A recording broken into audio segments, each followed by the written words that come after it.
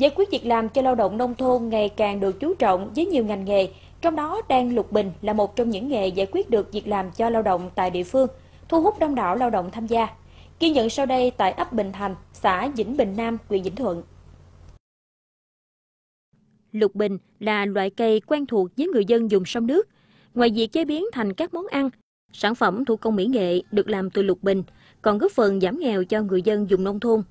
Tận dụng hiệu quả thời gian nông nhàn của bà con, Hội Liên hiệp Phụ nữ xã Vĩnh Bình Nam phối hợp với Hợp tác xã Dịch vụ Nông nghiệp Hiểu Phát ở xã Phong Đông, huyện Vĩnh Thuận, tạo đầu ra cho nghề đan giỏ lục bình, mở ra hướng đi mới, tăng nguồn thu nhập.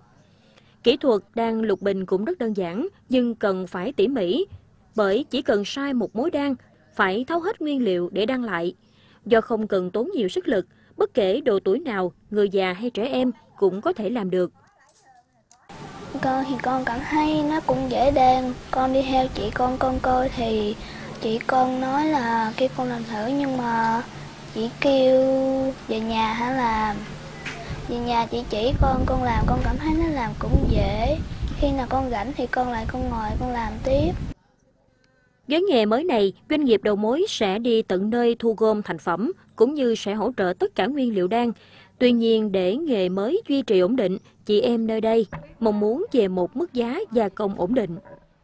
Mà đang thì à, bình quân thì cũng như là cỡ là mới đầu tiên này cỡ khoảng một ngày là chắc được hai cái. Ừ. Mà trong khi hai cái đó thì bây giờ là cũng như cái cái nguồn là thu nhập á rồi chị em ở đây là như cái là có bằng 11 ngàn thôi thì chị em nói giờ cái thu nhập này là thấy đương là không có à, đủ cái tiêu chuẩn mà để à, mình thu nhập hàng ngày á. Vậy giờ là như cô ý cô nói là như ý muốn là như làm sao á. Là cho cái nguồn à, thu nhập này là nó hơi cao hơn chút. Ấp Bình Thành, xã Vĩnh Bình Nam có 15 hộ nghèo và 50 hộ cận nghèo. Đa số thu nhập của người dân từ làm thuê làm mướn. Vì vậy, nghề đang thủ công mỹ nghệ từ cây lục bình mở ra hướng đi mới cho nhiều hộ dân dâng lên thoát nghèo. Tuy nhiên, để thành lập câu lạc bộ đang gia công và nhân rộng mô hình, cần có những giải pháp thiết thực từ doanh nghiệp.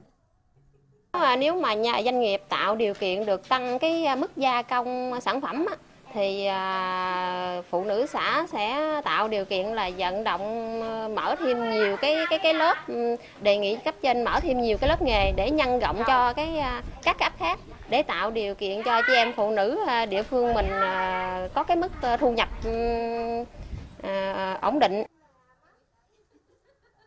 Nếu có sự phối hợp, hiệu quả giữa doanh nghiệp và chính quyền địa phương sẽ là mô hình triển vọng đem lại thu nhập khá cho lao động nhàn rỗi tại nông thôn, đồng thời cũng tạo được sự ổn định đầu ra sản phẩm từ phía doanh nghiệp.